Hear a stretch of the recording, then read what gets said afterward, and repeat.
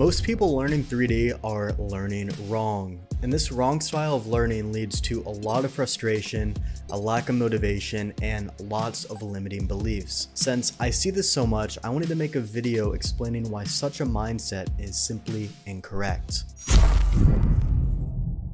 So let's pop back several years ago to when I was learning 3D myself. I was learning a ton from the creator of Hard Ops, Master Xeon 1001, and I would spend weeks just studying his stuff all day, every day. There weren't really many tutorials on these add-ons out there, so that's all I really had to work with. And what I learned doing this was pretty interesting. Yes, I learned modeling techniques, and yes, I learned different approaches to using Blender, but what actually gave me the highest ROI were those hidden 1% gems. Now, a lot of you watching these videos are probably competent enough in Blender to at least make some basic stuff. Sure, you might not have the tools dialed in quite yet, and you might not be at pro level, but that simply takes time. But an issue I see with a lot of you is you'll end up watching tutorials to learn more and will get frustrated if there's a certain part you don't understand or get stuck on. Even if 90% of the video you were able to follow along with, once you hit that small, minor 10% roadblock, what this does is it begins to trigger a lot of self-destructive beliefs. And this is where you need to refocus that energy to reinforce the positive feedback loops while you're learning. Instead of thinking, damn, this part is difficult and doesn't make sense to me,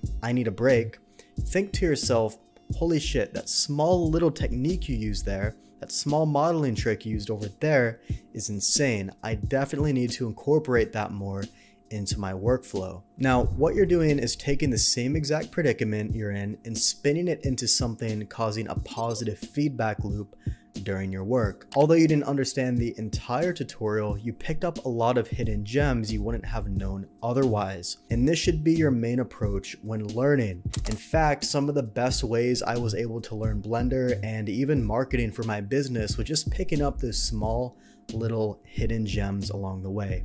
You won't always understand everything and you won't always feel like a certain tutorial clicks, but if you reorient your learning approach to something focused on accumulating small hidden wins, these compound over time and eventually the stuff you struggled on just starts to solve itself. This is a big thing I noticed when I was learning Blender and I'll give you an example. One concept that frustrated me a lot when learning hard surface modeling was the concept of cutting the cutter. I don't know why, but back then when I was learning, it was really confusing for me. Now, basically in hard surface modeling, what cutting the cutter means is if you have a boolean cut, you can run a boolean on that boolean, which will in turn bring back the main part of the mesh. A little bit confusing, and usually I'm pretty good at explaining things, but even this one is a bit tough to explain. Now, I could have gotten frustrated watching tutorials when this technique was implemented, but instead what I focused more on was the general picture and the small bits and pieces that I was picking up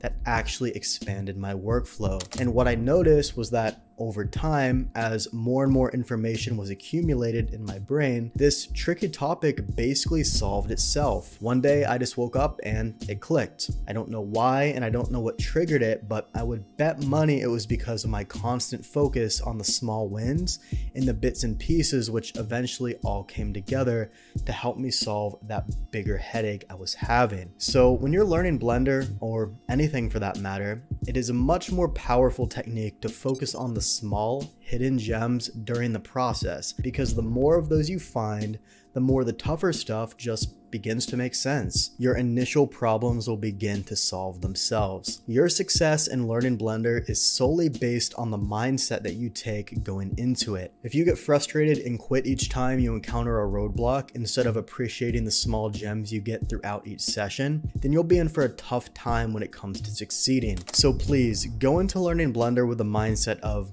okay, I highly doubt I'll be able to understand everything that's going on, but all these bits and pieces I'm picking up are going to stack and eventually solve my bigger problems. It's insane because now when I go back to the tutorials that I used to watch but didn't understand, they now feel like a walk in the park, really easy. And this same thing will happen to you if you keep with it. So don't give up, keep pushing through, and watch how quickly you actually learn to appreciate the smaller things rather than worrying about the bigger roadblocks. Usually, they will sort themselves out over time, so don't get frustrated, stick with it. Now, if you're new to Blender and want to get started with our personal favorite type of modeling, which is hard surface modeling, then check out our free hard surface modeling jumpstart course in the description below or over on blenderbros.com slash jumpstart. This course has over 40,000 students, plenty of amazing results and feedback, and is the go-to course if you're looking to start with hard surface modeling without wasting time. Again, I'll link that in the description if you're interested. So thanks a bunch, take care, and I'll see you in the next video.